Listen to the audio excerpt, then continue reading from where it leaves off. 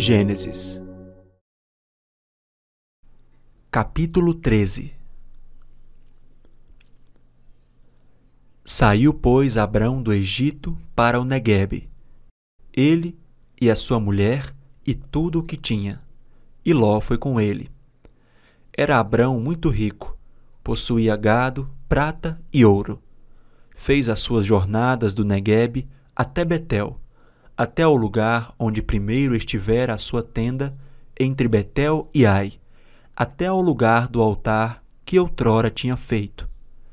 E aí Abrão invocou o nome do Senhor. Ló, que ia com Abrão, também tinha rebanhos, gado e tendas. E a terra não podia sustentá-los para que habitassem juntos, porque eram muitos os seus bens. De sorte que não podiam habitar um na companhia do outro. Houve contenda entre os pastores do gado de Abrão e os pastores do gado de Ló. Nesse tempo, os cananeus e os ferezeus habitavam essa terra. Disse Abrão a Ló: Não haja contenda entre mim e ti, entre os meus pastores e os teus pastores, porque somos parentes chegados. Acaso não está diante de ti toda a terra? Peço-te que te aparte de mim. Se fores para a esquerda, irei para a direita. Se fores para a direita, irei para a esquerda. Levantou Ló os olhos e viu toda a campina do Jordão, que era toda bem regada, antes de haver o Senhor destruído Sodoma e Gomorra, como o jardim do Senhor, como a terra do Egito, como quem vai para Zoar então Ló escolheu para si toda a campina do Jordão e partiu para o oriente. Separaram-se um do outro. Habitou Abrão na terra de Canaã e Ló nas cidades da campina e ia armando as suas tendas até Sodoma. Ora, os homens de Sodoma eram maus e grandes pecadores contra o Senhor. Disse o Senhor a Abrão depois que Ló se separou dele: Ergue os olhos e olha desde onde estás para o norte, para o sul, para o oriente e para o ocidente. Porque toda essa terra que vês, eu te darei, a ti e à tua descendência, para sempre. Farei a tua descendência como o pó da terra, de maneira que se alguém puder contar o pó da terra, então se contará também a tua descendência. Levanta-te, percorre essa terra no seu comprimento e na sua largura, porque eu te darei.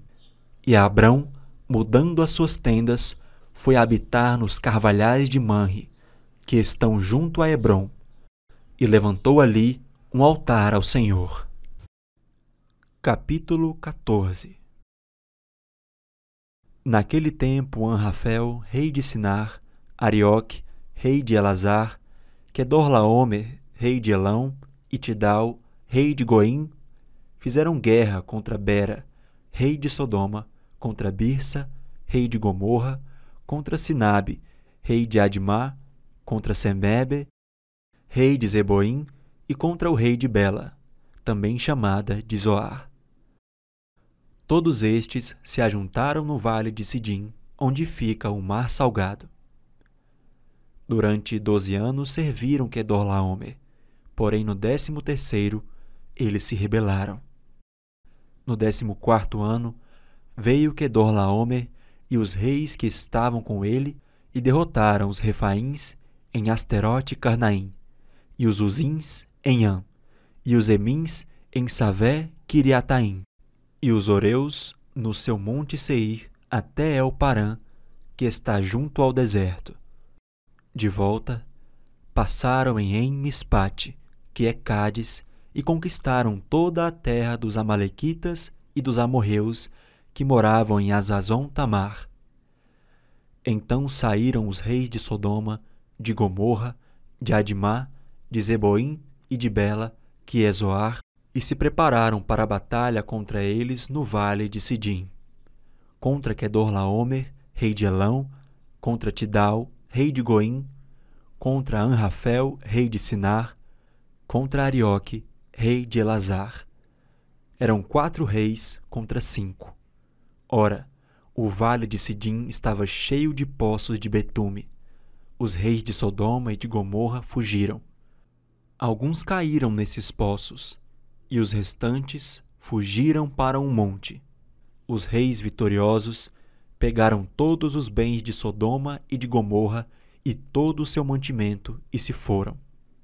Apossaram-se também de Ló, sobrinho de Abrão, que morava em Sodoma, e dos seus bens, e partiram. Porém, um homem que conseguiu escapar veio e contou tudo a Abrão, o hebreu. Este morava junto dos carvalhais de Manre, o amorreu, irmão de Escol e de Aner, os quais eram aliados de Abrão. Quando Abrão soube que o seu sobrinho estava preso, fez sair trezentos e dezoito homens dos mais capazes, nascidos em sua casa, e perseguiu os inimigos até Dan. E de noite, Abrão dividiu seus homens em grupos, derrotou os inimigos e os perseguiu até Obá, que fica ao norte de Damasco. Trouxe de novo todos os bens e também o seu sobrinho Ló, os bens dele e ainda as mulheres e o povo.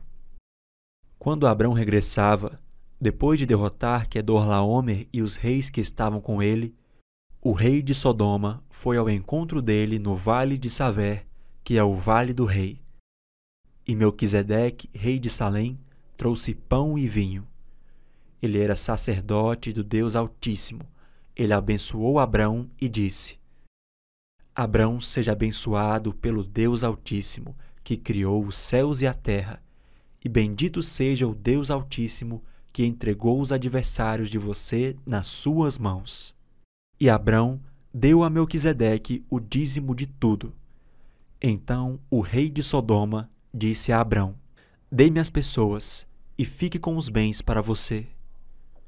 Mas Abrão lhe respondeu: Juro pelo Senhor, o Deus Altíssimo, que criou os céus e a terra, que nada tomarei de tudo que é seu, nem um fio, nem uma correia de sandália, para que você não diga: Fui eu que enriqueci Abraão.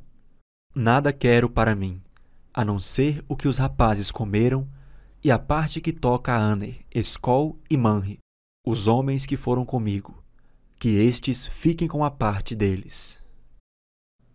Capítulo 15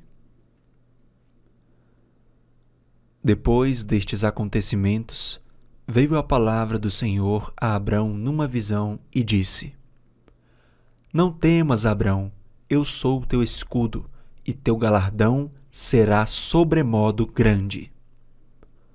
Respondeu Abrão: Senhor Deus, que me haverás de dar, se continuo sem filhos e o herdeiro da minha casa é o Damasceno Eliezer?